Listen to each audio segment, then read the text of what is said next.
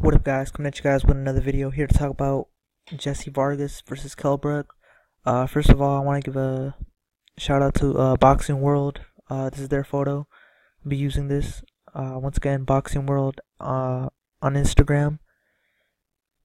Uh, now they posted this video or this photo before um, where it was just talks about this fight being made, but now it's made. Jessie Vargas has signed the contract, and this fight will either take place on the first week of September or the last week of August. Uh, welterweight unification fight. Uh, it's gonna be a good fight. Uh, this is what boxing needs. Uh, some people say like boxing, the uh, belts don't matter, but you know if you're going, if you're um fighting a unification fight like this, then you know this is even more better because you know you get the belts, you get money, and uh, get more fan base, get more respect.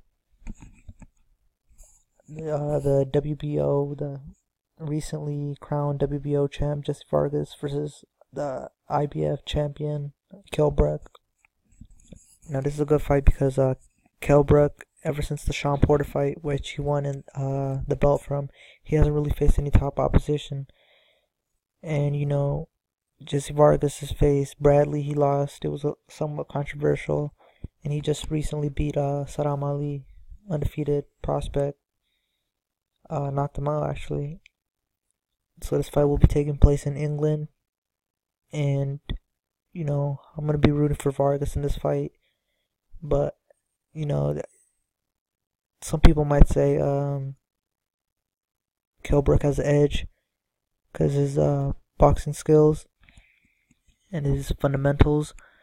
But I think it's gonna be a good fight. You know, it's, looking like it's gonna be aired here in the states on HBO. Hopefully, it will be so I can see the fight. Good fight, great fight. Uh, the other two champs are Danny Garcia and Keith Thurman, and that'd be dope if the winner of this fought the winner of uh, Keith Thurman, Shawn Porter.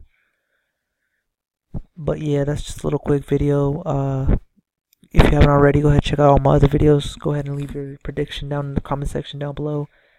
Peace.